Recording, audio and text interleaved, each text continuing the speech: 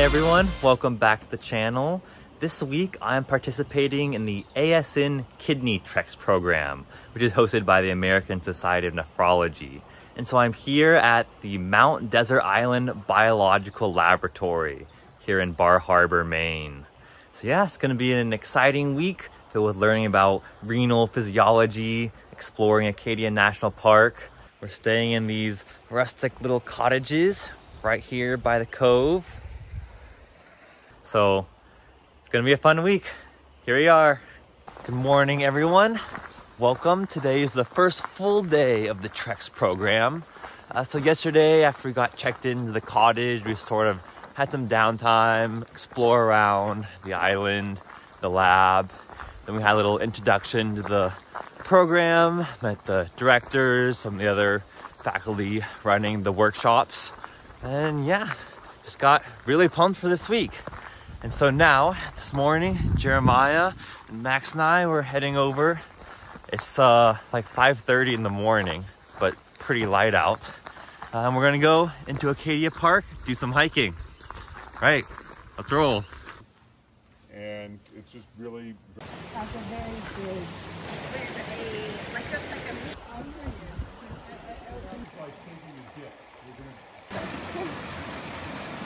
A little bit rainy this morning, but refreshing start to the day, I'd say. All right, we made it back from hiking, stopped by the cottage, get our supplies, had to pick up my own fresh urine sample that I collected this morning for our experiment today in the water homeostasis module. So it should be a exciting day full of exciting experiments. All right, recap of official day one of Treks. So we had several different experiments going on. One of them was a human subject study where we were providing our own pee samples, like I showed earlier. So we also continued to pee and provide samples throughout the morning, and then at lunchtime, we had an experimental group who drank a water load of 5% of our total body water. So for me, that was like 2.4 liters. It was a lot of water. And then afterwards, for the next several hours, we continued to take regular measurements and samples. And by the end, there were a ton there. I peed over like two liters, I think so. Uh, and then we took measurements to see how the osmolality changed. We also did some experiments with toad bladders and using those as a model for aquaporin response to ADH. We did some biophysical experiments using red blood cells as a model for aquaporin functioning. And what I was involved with was using pig kidney cells uh, to actually visualize the trafficking of aquaporins from the uh, sequestered vesicles to the apical membrane of the collecting duct. Uh, so we added vasopressin uh, to the cells and and then used immunofluorescence uh, to take images with confocal microscopy, where, where, we could actually visualize how the aquaporins moved from the vesicles to the apical membrane. And that was super cool. Good morning, everyone. Welcome to official day two of Treks. This morning, we're hiking up Flying Mountain in Acadia National Park. Then later this morning, we're going to present about our water module experiments from yesterday. And then this afternoon, more hiking uh, in the park. So, gonna be a great day. Let's go. Fernald Cove, which is here. We're gonna go Flying Mountain.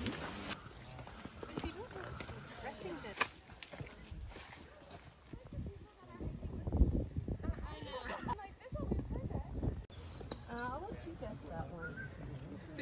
Based on your clumsiness.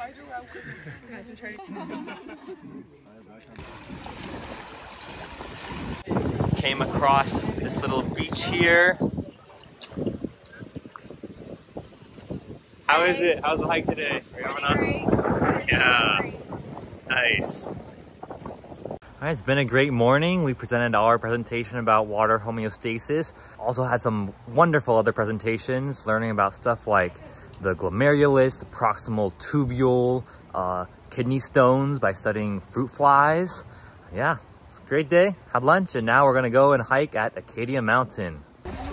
Brendan, you ready for this hike? Oh yeah. All right, let's go. You guys ready for this hike? Yes. Yes. We prepared by being in lab all day. Yeah. And now we're ready. All right, let's go.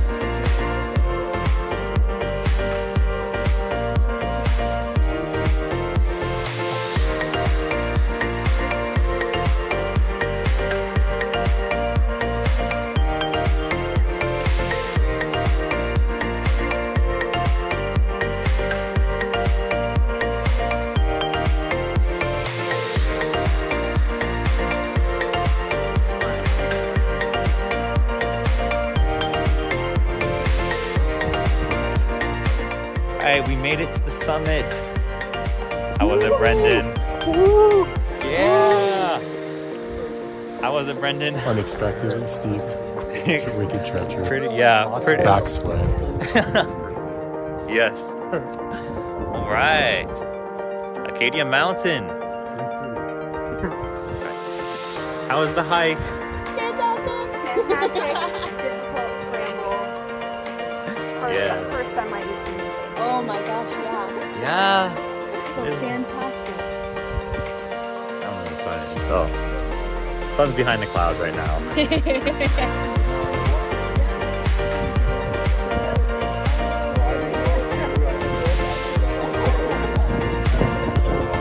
Hey, water's a little cold at first. It feels pretty good now.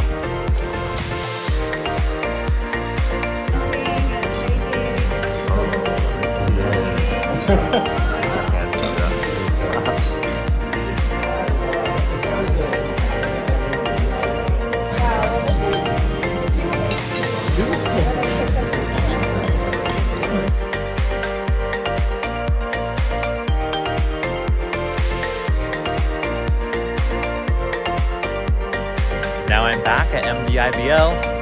enjoying the sunsets. Beautiful this evening. Lovely here on campus. The water lapping against the shore. All right, that's day two.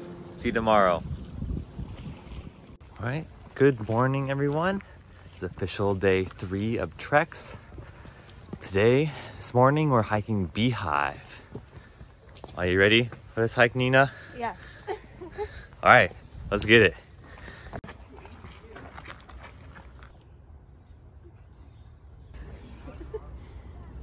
How's it been so far, Danny? It's been good. Up high real fast. Yeah.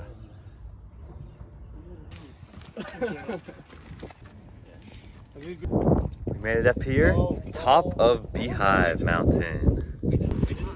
Yeah, lots of climbing action, lots of iron ladders, but a beautiful morning. How was the hike, Bryce? It was pretty awesome. What do you think of it? Lots of climbing. Lot pretty fun though. Yeah. Nobody fell off. That was good. Yeah, no casualties. Our morning adventures today were terrific. So now I'm back on campus, stopped back at the cottage, changed, got my laptop, now heading towards the laboratory for today's experiments. I'm doing the kidney stone module today, so we're gonna be working with fruit flies uh, and learning a lot about kidney stones. All right, let's go.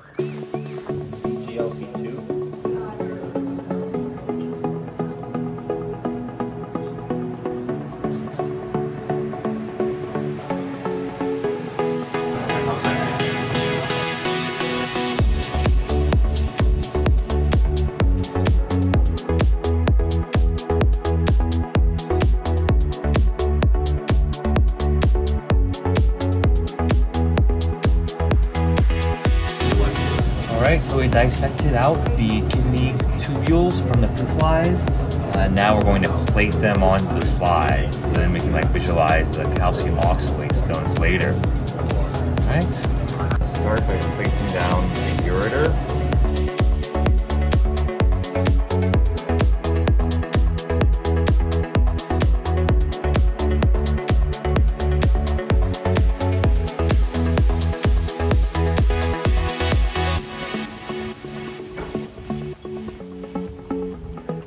Our afternoon teaching, learning about our experiments, learning about kidney stones. How are we feeling, everyone? Drink water.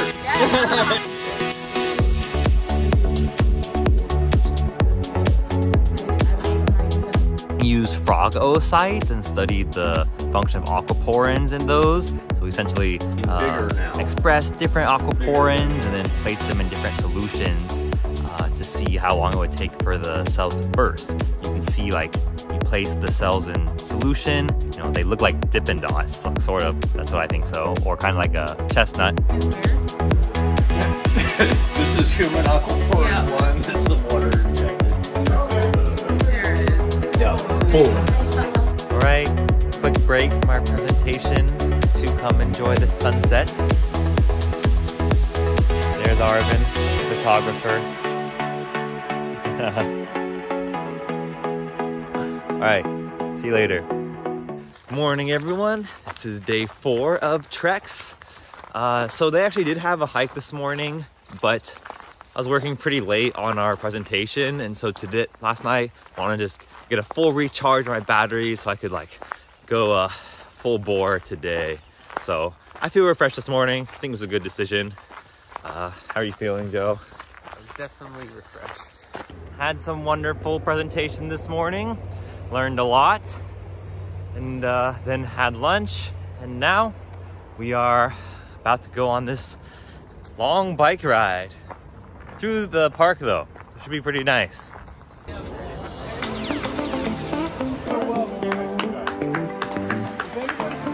ready, John? Of course, of course we are ready. All right, game time.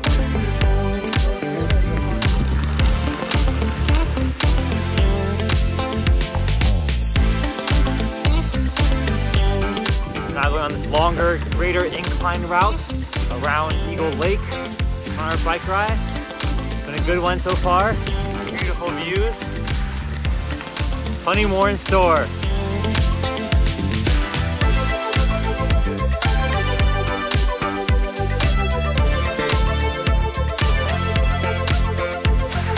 All right, we've been going on this long uphill trek.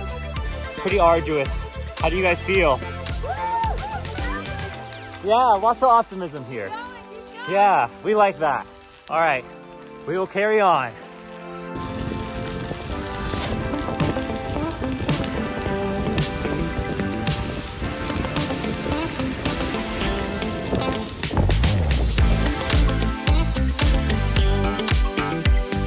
All right, we made it here to Jordan Pond.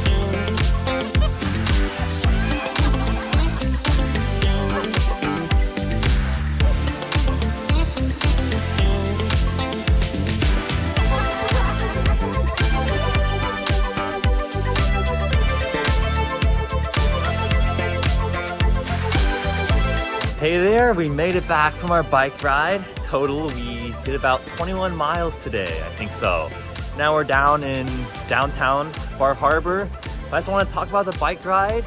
It was amazing. I enjoyed it so much. Just like the fresh, crisp air you're breathing in, the sunlight streaming through the trees as you ride through the path, the you know bright green of the leaves there, and the lakes and water. Oh, that like teeming as you just ride right by it? Oh, it was an amazing trek, and you know definitely recommend doing that here in Bar Harbor and Acadia. Okay, one more thing. Just had to show you this view point right off of Bar Harbor. The harbor there, all the boats. This is Maine. Good morning. It is day five of treks. At the dining hall, having breakfast. Yeah, with some of the fellow Trekkies. Uh, yeah, today I'm doing. Oh, hey there, Ashley. Uh, today I'm doing the distal convoluted tubule module. Gonna be working uh, with patch cla- clamping and studying the ENAC channels. So should be a good day.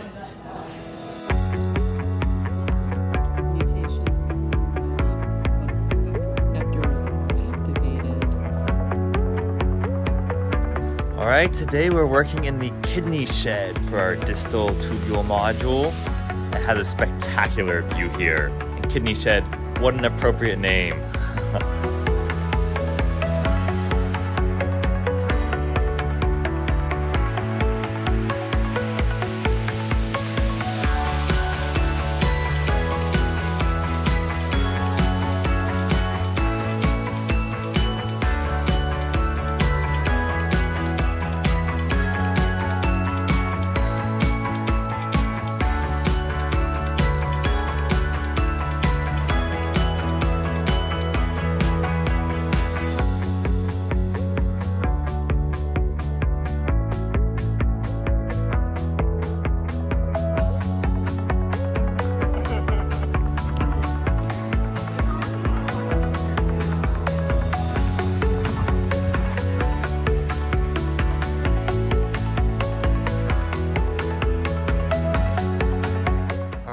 Finished our experiments for the day. How was the distal tubule today? It was a blast. yeah, now we're putting together a presentation, summarizing our results. Uh, but yeah, basically, like I said, we were working on the ENAC channel uh, with two electrode voltage clamping. We had some great afternoon teaching, learning about nephrotic syndrome and underfill versus overfill theory. Right, official day six of Treks. This morning we're heading down to the lab building to finish going over our presentation, prepping the final details there. Then we'll present and then have a very fun day planned today. We're gonna do kayaking, have a lobster bake later. So, you know, let's uh, round out this week with a bang. So today we're focusing on extracellular proteolytic activation of ENaC channels. cardiovascular development. And so that we won't suggest after we Hello there, I'm here with Dr. Zeidel, director of our Treks program. A great course, beautifully done. Lots of enthusiasm here. Lots of enthusiasm for, from all of the, the trainees. And of course, we really had a great time as a faculty running it. And now they're all going to go off and kayak. So um, have a great afternoon. Yeah, thank and you. Properly tripped out. Yep. You'll- Have you'll be my great. swimsuit. We're gonna put on our sunscreen. Yep. All right. Sunscreen is key. Yep. All right. All right. you See you later. Yep.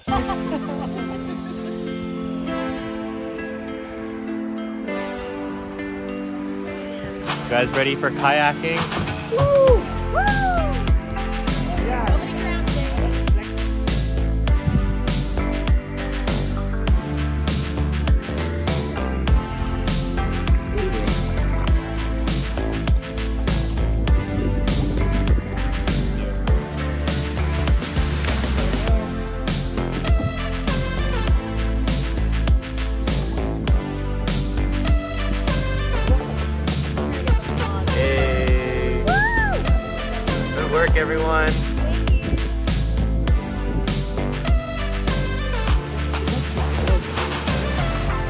We are currently kayaking through an oyster farm. This is pretty crazy. I've never seen one of these before.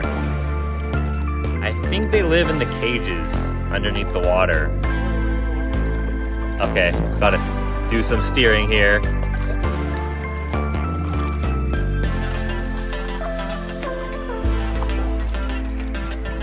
We just saw a Bar Harbor seal right behind us. It's popping its head out. You know, swimming, kayaking, right along with them. Just a part of the family. How was the kayaking, everyone? It was awesome. We saw seals, Yeah. hawks, seagulls, birds, E- yeah. Races. Eagle's Nest. Max provided all the power for our kayak. Good work. this evening we have a lobster bake going on. Quite the array here. Classic Maine experience.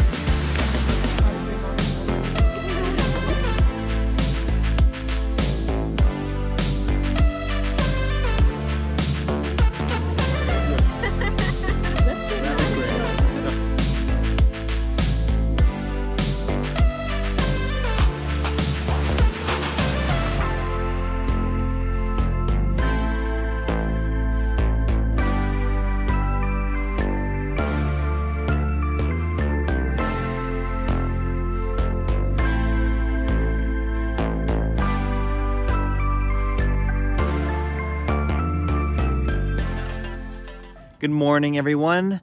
Coming to you for the last time from MDIBL and the Treks program. It's an incredible morning. I don't know if you can hear, but the birds and the animals are out this morning. Just their chirping and the smooth flow of the water. So peaceful. But I just want to take a moment now this morning to just like reflect about this week and like, you know, my takeaways. So, without a doubt, this has been one of my favorite weeks of medical school. Um, so much going on. Got to do some super cool experiments and learning about renal physiology. Um, I think one of the things that stood out to me was learning about model organisms and how to choose the model organism for the experiment based on its characteristics. And we got to work with so many different ones this week. For example, we worked with toad bladders, pig kidney cells, red blood cells, frog oocytes, uh, Drosophila, the fruit fly. Some groups work on zebrafish. And the thing with all these is there's unique characteristics, the transporters and mechanism that allow us to model parts of human body. So this week has made me think about that in a way that I had never really done before.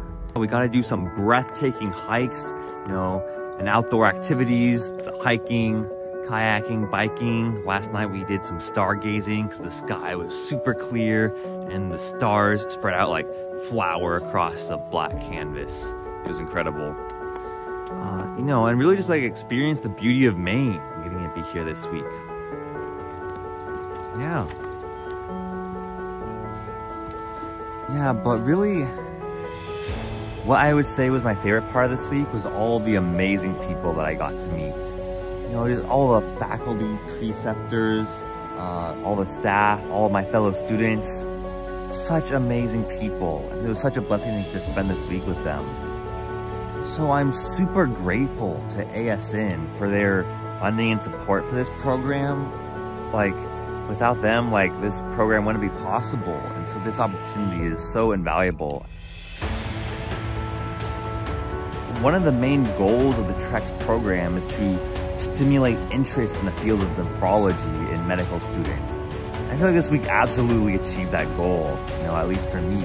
You know, not only by exposing me to the science and the experiments, but just allowing to immerse myself in the culture of this field and like spend so much time with all these nephrologists and researchers and get a picture of what life is like. You know, it's been such an incredible week with these people and like definitely has like spurred my interest in nephrology. All right, this is Nathan Kudlapur signing off from ASN TREKS 2022.